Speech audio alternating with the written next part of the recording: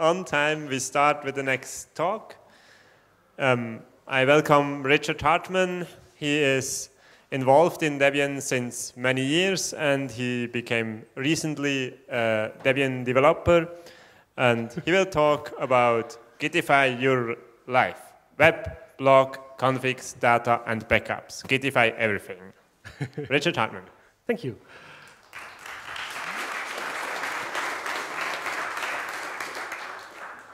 Thank you for coming, especially those who already attended all of those BoFs. Um, yeah, short thing about myself. As Gordon said, I'm Rich, uh, Richard Hartmann. In my day job, I'm a backbone manager at GlobalWays. I'm involved with Freenode and OFTC. And oh, should I speak louder? I, I'm not sure. Test, test. Good back there? Uh, can you turn up the volume a little bit? Test, test. Okay, perfect. Okay, um, since about a week, I've been a Debian developer, yay, and I'm the author of VCSH.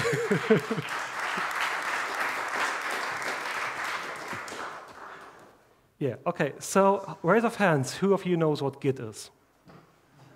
Perfect. That's just in as a backup plan, but perfect, we can skip it. Let's move to the first tool, etckeeper. Some, or maybe even most of this audience will have heard of it.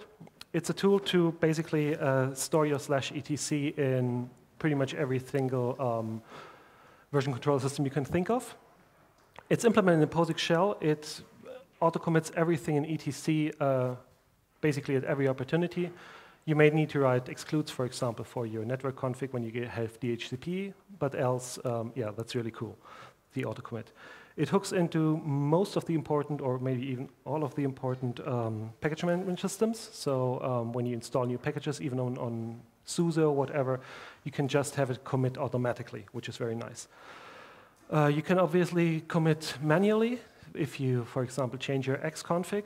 Um, it supports, as I said, various backends, and yeah, it's it's quite nice to recover from failures. For example, Axel used it to recover from Saturday's power outage because some servers lost stuff, and with etckeeper, he could just replay all the data, which was rather nice.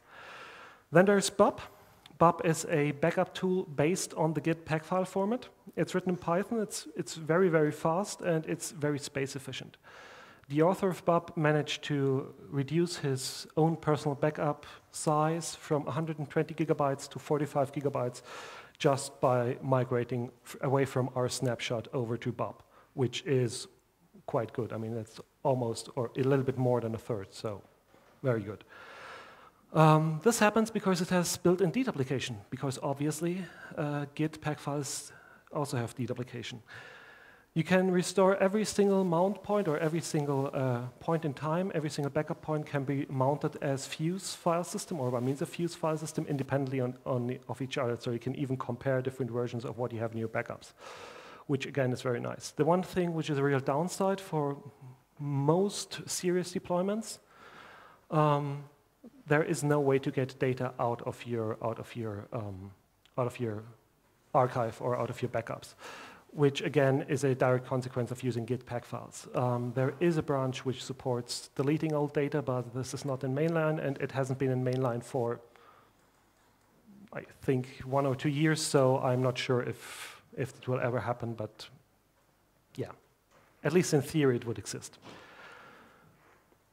Then for your, for your websites, for your wikis, for your whatever, there is IkiWiki. IkiWiki is a wiki compiler, as the name implies, and it converts various different files into HTML files. It's written in Perl, it supports various backends, again, most of the ones you can possibly think of. Oh, and I can even slow down. Great. um, it, it's able to parse various markup languages, more on that on the next slide. Uh, there are several different ways to actually edit any kind of content within uh, IkiWiki. It has templating support, it has CSS support. These are quite extensive, but they may be improved, but that's for another time. It acts as a wiki, as a CMS, as a blog, as a lot of different things. It automatically generates RSS and Atom feeds for every single page, for every single subdirectory.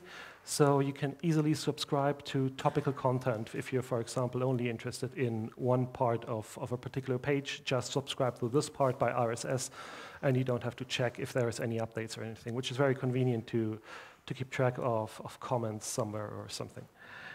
And it supports OpenID, which means that you don't have to go through all the trouble of having a user database or doing very or doing a lot of anti-spam measures because it turns out OpenID is relatively well suited for just uh, stopping spam bots. For some reason, maybe they just didn't pick it up yet. I don't know, but it's, it's quite nice because you don't have to do any actual work and people can still edit your, your content and you can still track back changes at least to some extent. It supports various Markdown languages. The best one, well, debatable, but uh, in my opinion, it's Markdown. It supports wiki text, restructured text, textile, plain HTML, and there are specific IkiWiki specific um, extensions. For example, normal wiki links, which are a lot more powerful than the normal linking style in Markdown, which kind of sucks, but whatever. Um, it also supports uh, directives which basically tell IkiWiki to do special things with a page. For example, you can tag your blog pages or you can uh, so make, uh, generate pages which automatically, automatically pull in content from different other pages and stuff like this. That's all done by directives. How does it work?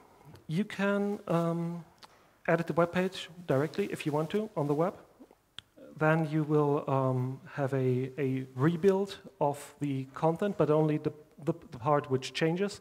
So if you, hello? Okay. If you change only one single file, it will only rebuild one single file. If you change, for example, the navigation, it will rebuild everything because obviously um, it needs to rebuild everything. Hello? Okay. Yeah, okay.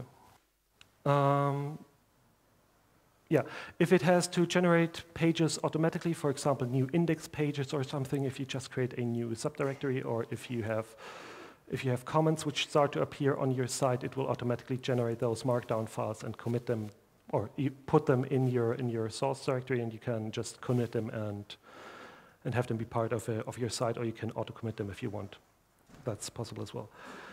And you can obviously change, uh, pull in all changes in your local repository if you wanted to, to look at them.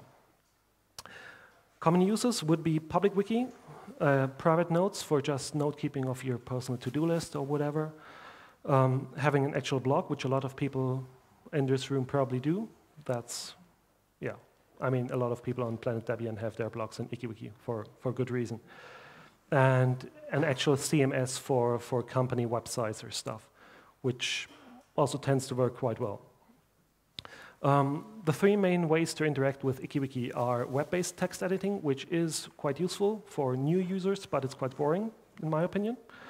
Um, there is also what you see is what you get editor, which is even more fancy for, for non-technical users.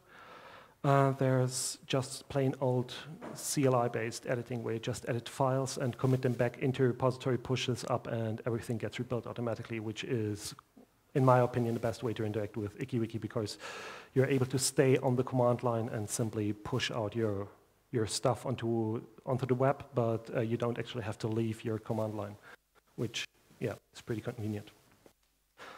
There are also some more advanced use cases. Um, as I said, you can interface with the source file directly. You can maintain, oh, something is wrong.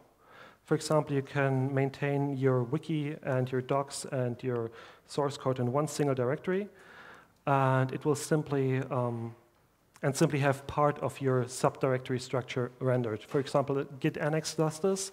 There is a doc directory which gets rendered to the website, but it's also part of the normal source directory, which means that everybody who checks out a copy of, of the repository will have the complete firm, bug reports, to-do lists, user comments, everything on their local file system without having to leave, again, their command line, which doesn't break media, and so it's just very convenient to have one single resource for everything regarding one single program. And another nice thing is if you create different branches for preview or staging areas, you can even have workflows where some people are just allowed to, to create pages. Other people then look over those pages and merge them back into master and then push them to the actual website, which basically allows you to, um, to have content control or, or real publishing workflows if you, if you have a need to do this. Yeah, next up, GitAnnex the beef. um, it's basically a tool to manage files with Git without checking those files into Git. That might sound counterintuitive. Um, yeah, what is GitAnnex? It's based on Git. It maintains the, the metadata about files, as in location and file names and everything, within your Git repository, but it doesn't actually maintain the file content within the Git repository. More on that later. This saves you a lot of time, uh, time and space. Um, you're still able to use any Git Annex repository as a normal Git repository, which in turn means you're even able to have a mix of, for example, saying all your README files should be uh, maintained by normal Git, and then you have all the, the merging, uh, which Git does for you and everything. And then you have, for example, your photographs or your video for web publishing, which are maintained in the annex, which means you don't have to have a copy of those files in each and every single location.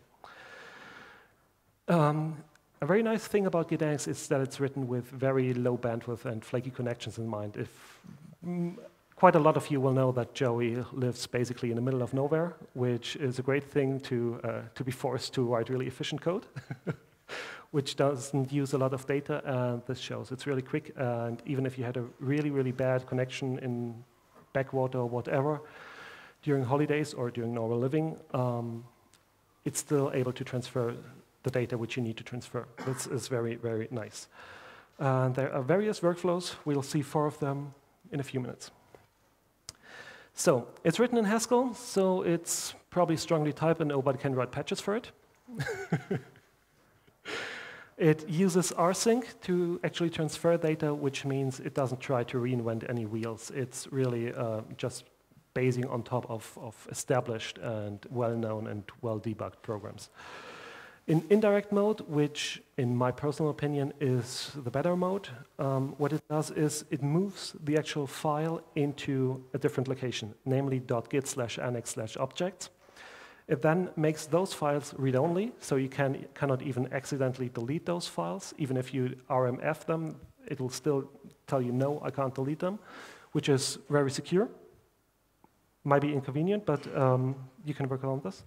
It replaces those files with symlinks of the same name, and those just point at the object. And if there is an object behind this symlink or not, that basically determines if you're able to access the data on this particular machine or in this particular repository. But you will definitely have the information about the name of the file, the theoretical uh, location of the file, um, the hash of the file will be in every single repository. There's also a direct mode, um, initially mainly written for Windows and Mac OS X because Windows just doesn't support symlinks properly. And OS X, while supporting symlinks, apparently has a lot of developers which think it's a great idea to follow symlinks and display the actual target of the symlink instead of the symlink. So you have cryptic file names which are really hard to deal with. And obviously people who are used to GUI tools which then only display really, really cryptic names, so that's no good. So there's direct mode, which doesn't do the symlink stuff. It basically um, rewrites the files on the fly. It, Git still thinks it would, it would be managing symlinks, but GitAnnex just pulls them from under Git and pushes in the actual content. You keep on nodding, so I'm probably doing good. um, and if you want, you can always delete old data, or you can keep it. Or you can just, uh, for example, what I'm doing, you can have one or two machines which slurp up all your data and have a everlasting archive of everything which you ever put into your annexes. And then other machines, for example, laptops with smaller SSDs, those just have the data which you're actually interested in at the moment. How does this work in the background? Um, each repository has a UUID, it also has a name, which makes it easier for you to, to actually interact with the, with the repository, but in the backend, it's just a UUID for obvious reasons because it just makes uh, distributed generation and synchronization yeah, easy, period. It stores all tracking information in a special branch called git-annex. This branch means that all, should I? this branch um, ensures that every single repository has full and complete information about all files, about the location of all files, about the last status of those files, if those files have been added to some repository and then deleted, or if they have been over there forever. So in every single uh, in every single repository, you can just look up the status of this file or of all files in all other of your uh, repositories, which is yeah convenient. The tracking information is very simple and it's designed to be merged. There's, it's a little bit com more complicated than a plain union merge, but basically what it does is it just has a timestamp and tells you if the file has been there or not, and it has the UUID of the repository. And from this information, along with the timestamps, you can simply reproduce the whole life cycle of your files through your whole cloud of, um, of GitAnnex repositories in this one particular annex. One really nice thing which you can do is, um, if you're on the command line, which again, in my opinion, is the better mode, um, you can simply run git annex sync, which basically does a commit. Oh, it does a git annex add, then it does a commit, then it merges um, from the other repositories into your own master and into your own um, git annex branch. Then it merges the log files, that's where the git annex branch comes in, and then it pushes to all other known repositories which is basically a one-shot command to synchronize all the metadata about all the files with all the other repositories. And it takes no time at all, given network connection. Data integrity is something which is very important for me, yeah, for all of the tools, but uh, Git Annex is really designed with data integrity in mind. Uh, by default, it uses SHA, SHA-2 256 uh, with file extension to, uh, to store the object, so it renames the file to its own SHA-SUM, which allows you to always verify the data even without GitAnnex. You're able to say uh, by, by means of globbing which files or which directories or which types of files should have how many copies in different repositories. So for example, what I do, all my RAW files, all the RAW photographs are in at least three different locations. All the JPEGs are only in two because JPEGs can be regenerated, RAWs cannot.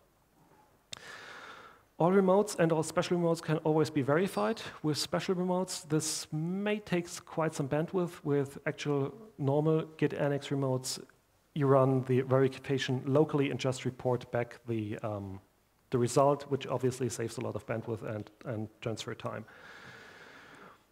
Verification obviously takes the amount of required copies into, into account. So if you would have to have three different copies and, and your whole repository cloud you only have two, it'll complain. It will tell you, yes, the checksum is correct, but you don't have enough copies, please do something about it. And even if you were to shoot Joey right now and delete all copies of Git Annex, you would still be able to get um, all your data out of Git Annex. Because what it boils down to in indirect mode, it's just symlinks to other objects. These objects have their own checksum as the actual file name. So you'll even be able to verify without Git Annex, just by means of a little bit of shell scripting, that all your files are correct, that you don't have any bit flips or anything on your local disk.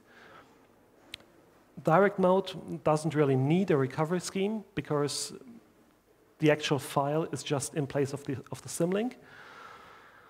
Um, yeah, but on the other hand, you won't be, you still need to look at the git annex branch to, to determine the actual checksums, which you wouldn't have to do with the indirect mode. There are a lot of special remotes, and what are special remotes?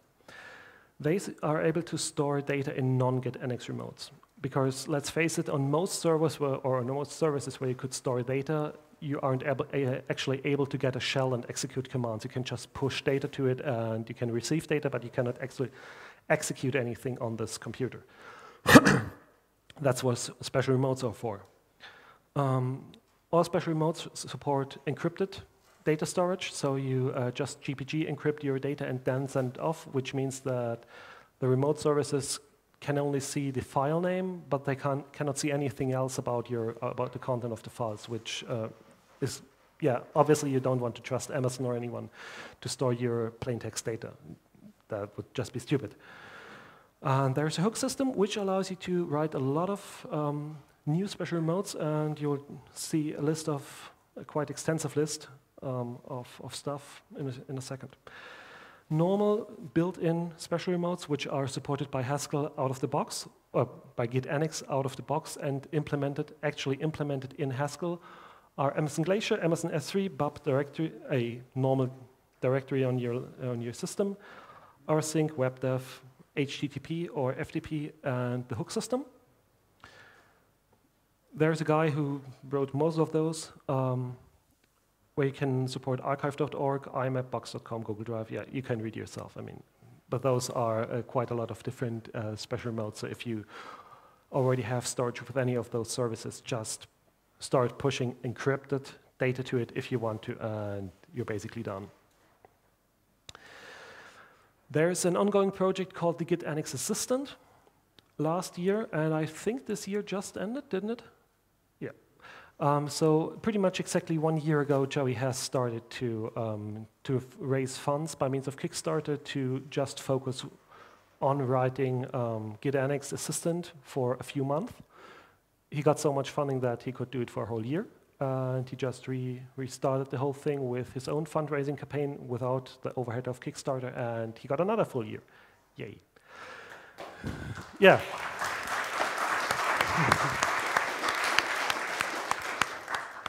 Are you still accepting funds? Okay. so if you use it, at least consider donating, because, because you, honestly, you can't write patches for it anyway, because it's in Haskell, so that's the other means of, of actually contributing. Um, Git Annex boils down to being an assistant, uh, a daemon which runs in the background and keeps track of all your, of all your files, of newly added files. It keeps uh, then it, it, then starts transferring those files if configured to do so. It starts transferring files to, to other people or to other repositories. Um, this is all managed by means of a web GUI, which in turns means that it's really, well, not easy, but easier to port to, for example, Windows or Android, which both work to some extent. Uh, not fully, but they're useful or usable, more or less. Uh, yeah, at least on Android, it's really quite well. I, I, I couldn't test it on Windows because. yeah. um, and it also makes it accessible for, for, for non-technical users. So for example, if you want to share your, or some of your photographs with with your parents, or with friends, or if you want to share, I don't know, videos with other people, uh, you just put it into one of those repositories, and even those non-technical people just magically see uh, stuff appear in their in their own repository and just, can just pull the data if they want to. Or if you configure to do so, it will even transfer all the data automatically, which is yeah, it, it, it's MOM compatible. That's the short version. It uh, supports content notification, but not content transfer by means of XMPP or Jabber, which used to work quite well with Google Talk. I think it's not. Oh, it still works. Okay. At least at the moment. We'll, we'll see when they just cut the cord and replace it with Google+. But um, yeah, at least at the moment, it still works by, uh, if, you, if you have a Google account, you can simply transfer all your data. Or you can transfer the metadata about your data. You cannot actually transfer the files through Jabber, but that's probably something which will um, happen within the next year. There are quite advanced rule sets for content distribution. So for example, it can show you, um, okay, it can show you, um, you can say, put all raw files into this archive and all JPEGs onto my laptop or whatever. Or if I still have more than 500 gigabyte free on this disk, please pull data in, and as soon as I only have 20 left, uh, stop pulling data into this one repository, which obviously is quite convenient. Um, as I said, there's an Android and Windows port, and now onto use cases. First use case, the archivist. What the archivist does is basically he just collects data, either to ever look at or just to, to collect. And if you, if you have this use case, what you probably want to do, you want to have offline disks to store at your mom's or to, uh, to put into a drawer, or just you don't, have, you don't have enough SATA ports in your, in your computer because you just have so much data. So what you can do is you can just push this data to either connected machines or to disconnected drives or to some web service and just store data. But normally you would have the problem of keeping track of where your data lives, if it's still okay, if it's still there, everything. With Git Annex, you can automate all this administrative side of, of archiving your stuff. And even if you have only one of those disks, if there are proper uh, remotes, uh, you will have full information about all the data in your Annex cloud up to this point. So even if you only pull out one random disk, you'll still have information about all the other disks on this one disk, which obviously is, is a nice thing. Media consumption, um, let's say you pull a video for, of this talk, or you uh, get some slides, maybe also from this talk, you may get some podcasts, and GitAnnex has become a native podcatcher quite recently, I think two or three weeks ago, which means you don't even have to have a separate podcatcher. You just tell GitAnnex, this is the URL of my RSS feed, and it'll just pull in all the content.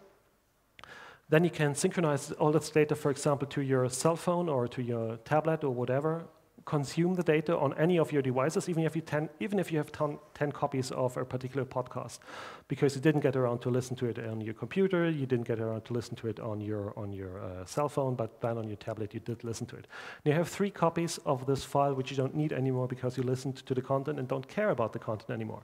What you do is you drop this content on one random um, repository, and this information that you have dropped the actual content, not the metadata about the content, but the actual content, and don't need the content anymore, will slowly propagate to all other annexes, and they, if they have the data, they will simply also drop the data.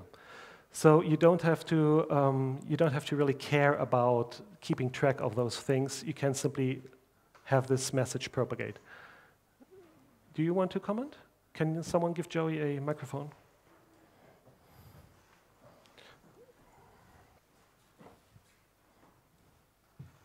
Just as a minor correction, um, it doesn't propagate that you've dropped the content, but you can move it around in ways that have exactly the effect that you described. I just didn't want people to get the wrong idea that if you accidentally removed it from one thing, it would vanish from everything. With that's, that's no, no, what no. happens. Yeah. But if you deliberately drop the content and tell the annex, I don't. No, no. That's not how it works. We'll have to talk about it later, but it's... Um, you looked at the slides, but... Well, I'm sorry, I missed that one.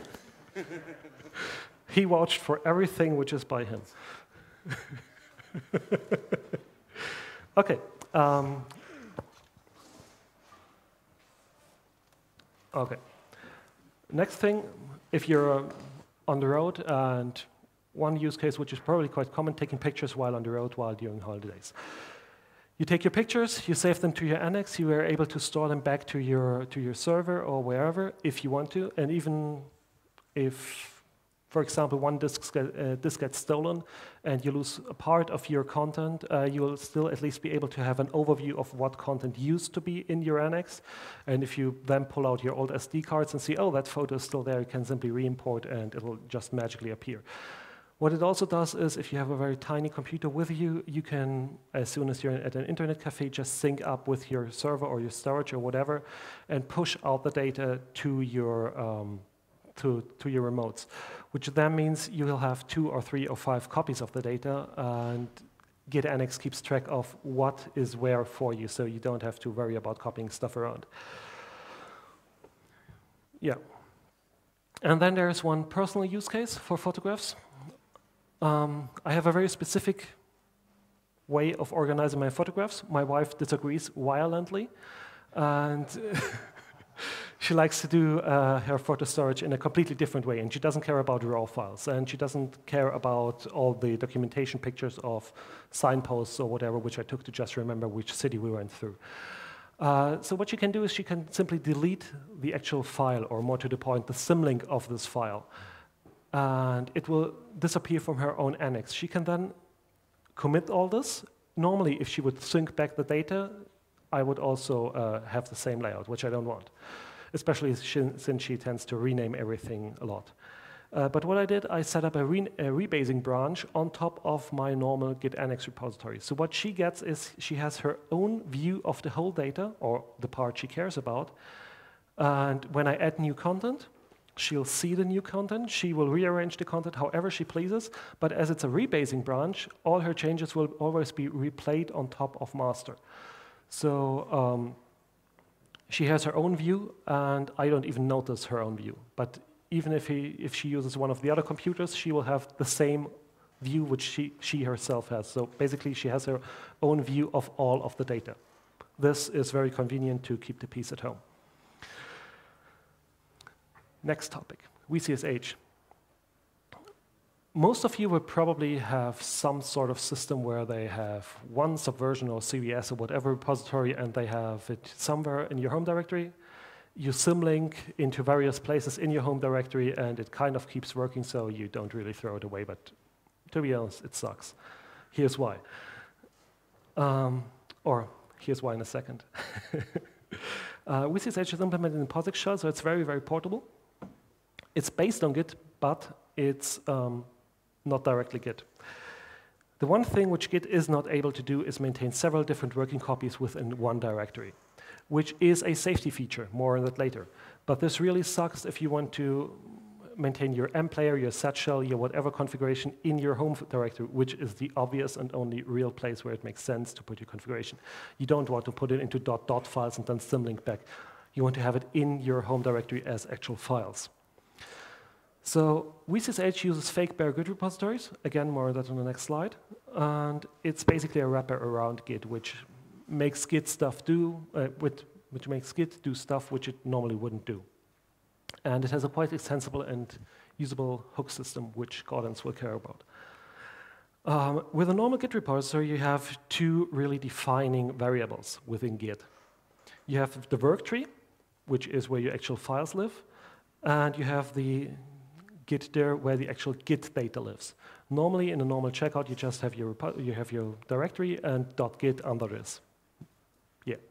If you have a bare repository, you obviously don't have an actual checkout of your data. You have um, just all the objects and the configuration stuff. So that's what a, ba a bare repository boils down to being. A fake bare Git repository, on the other hand, it has both. It has a Git work tree and it has a Git dir, but those are detached from each other. They don't have to be closely tied together. And it also sets core bare false to actually tell Git that, yes, this is a weird setup, but yes, you still have a work tree. Even, if, even though you don't really expect to have one, you still have a work tree. By default, VCSH puts your work tree into home, and you Git dir into, yeah, it boils down to .config, uh, repo d, and then the name of the repository, which just puts it away and out of, out of the way of you actually seeing stuff. But it follows the cross-desktop specifications, so if you move stuff around, it'll also follow. Fake bare repositories are really, thank you, are messy to set up, and it's very easy to get them wrong. Um, this is also the, the, uh, the reason why Git normally disallows doing this kind of stuff. Because all of a sudden you have a lot of, of context dependency on when you do what. Just imagine you set git work there, uh, git work tree, sorry, and run random commands like git add, that's kind of okay. If you git reset hard head, yeah, you will probably not be too happy. If you, if you check out the current version, that's also quite bad. And if you clean F, yeah, you just killed your home directory. Congratulations. So um, it's really risky to run with, uh, with these variables set, which is why I wrote VCSH uh, to just wrap around Git to hide all this complexity and do quite some sanity checks to make sure everything's set up correctly. Um, again, it allows you to have several repositories, and it also manages really the complete life cycle of all your repository. It's very easy to just create a new repository. You just init, just with Git. You add stuff, you commit it, and you define a remote, and then just start pushing to this remote. Simple. This looks like Git because it's very closely tied to Git, and it uses a lot of the power or of the, of the syntax of Git for obvious reasons, because it's closely tied to Git. You can simply clone as you would with Git. You can simply show your files as you would with Git. You can rename the repository, which Git can't do, for, but you don't have to. You can show the status of all your files, or just of one repositories, or of all repositories. You can pull in all your repositories at once. You can push to all your repositories at once with one single command. Um, so if you're on the road or if you just want to sync up a new machine, it's really quick, it's really easy. There are three modes of dealing with your, uh, with your repositories. The default mode is the quickest to type. It, you just, just say vcsh, zsh, commit, whatever, or just any random git command, but you cannot really run gitk. You can do this by using the run mode, which is the second mode, where you simply interject, you see here run is missing, and here the git is missing. So you say simply vcsh run zsh git commit, whatever, and this and this is exactly the same command. It's literally the same command once it arrives at, at the shell level, so to speak. Here you can also run gitk because with this, you set up the whole environment to, for one single command to run with this context of the changed um, environment variables. Or you could even enter the repository, then you set all the variables, and then you can just use normal git commands as you would normally this is the most powerful mode, but it's also the most likely to, to hurt you if you don't know what you're doing. So I recommend working your way down this way. You should have uh, your shell display prompt information about being in a VCSH repository or not, uh, simply because else you may forget that you entered something. And then if you run those commands, there will be pain.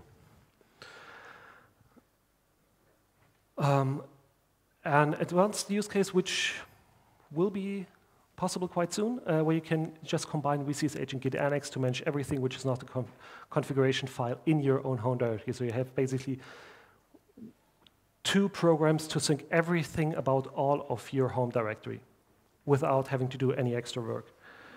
You can also use it to do really weird stuff. For example, you can back up a .git of a different repository with the help of VCSH.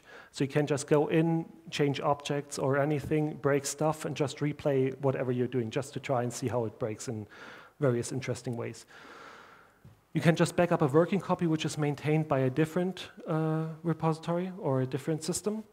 You can even put a whole repository, including the .git, into a different Git file, or you can even put other VCSs like Subversion or something into Git if you want to. Then there's MR. MR ties all those.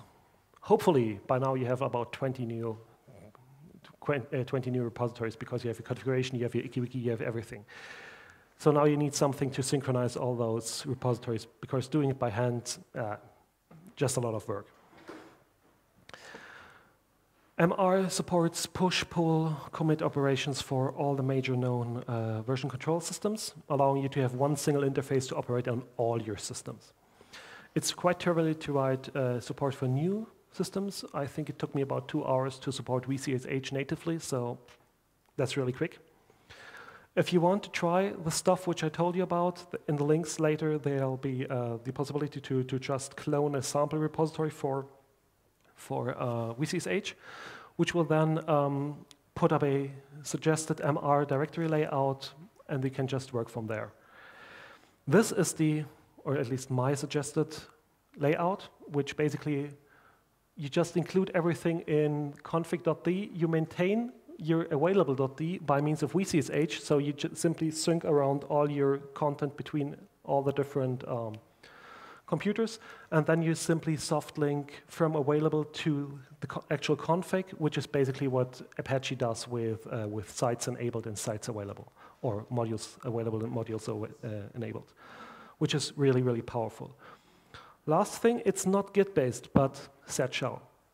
It's a really powerful shell. You should consider using it. It has very good tab completion for all the tools which are listed here, more than Bash. It has a write prompt, which will automatically disappear if it needs to, which is very convenient to display not important but still useful information. And it will automatically, if you tell it to tell you about you being in a Git repository or a Subversion repository or whatever, by means of vCS info, which also means you'll be told that at the moment you are eh, within a VCSH repository and you may kill your stuff if you do things wrong. It can mimic all the major shells, and there's just too many other reasons to it. So, final pitch. This is true. I tried it earlier. I can demo it. I still have five minutes left. Um, it takes me less than five minutes to synchronize my complete whole digital life while on the road. So if I'm, if I'm at the airport and just want to update all my stuff and push out all my stuff, it'll take me a few minutes. Then I can hop onto the airplane and I know everything's fine, everything's up to date on my local machines. I have on my local machines. I can continue working, and I have a backup on my on my remote systems. These are the websites. The uh, slides will be linked from from uh, from Penta, so you are more, to, more than welcome to look at these links later.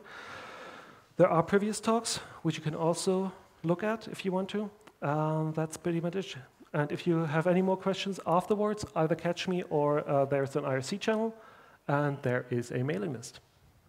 Okay, we can take a few questions. We have still a few minutes, but if there are more questions, ask Richie afterwards. And while we're doing this, just look here because that's a complete sync of everything I have.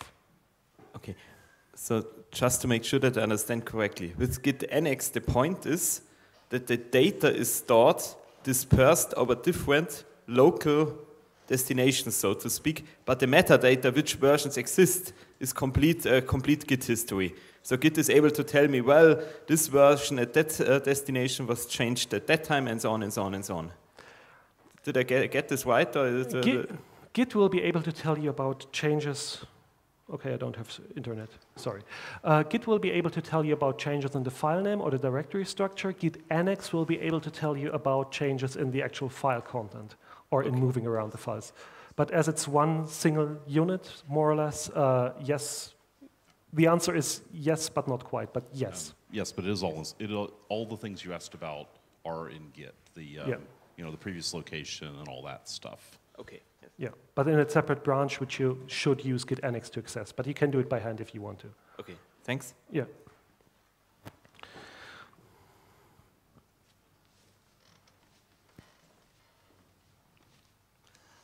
Hi. Uh, oh, yeah. I'm not familiar with tracking branches uh, yet. Um, you mentioned a workflow where your wife has a different view on the data than you. Uh, with this workflow, is it possible for your wife to upload photos that you will have in your view as well, or is it a one-way street? Um, minor correction, it's not, tracking branches track a different repository. What I meant were rebasing branches, which rebase on top of a different branch, which basically just keeps the patch set always on top of the branch, no matter where head moves to.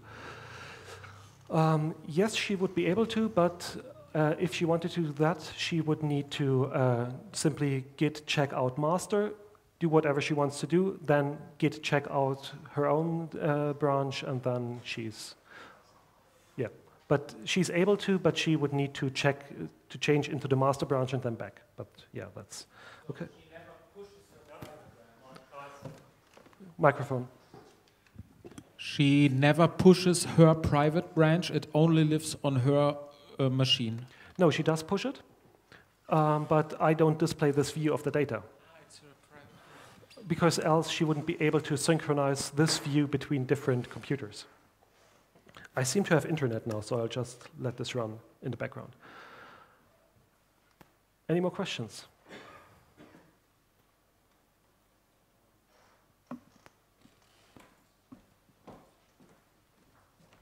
No more questions? Then we're we done. We have one more minute for questions.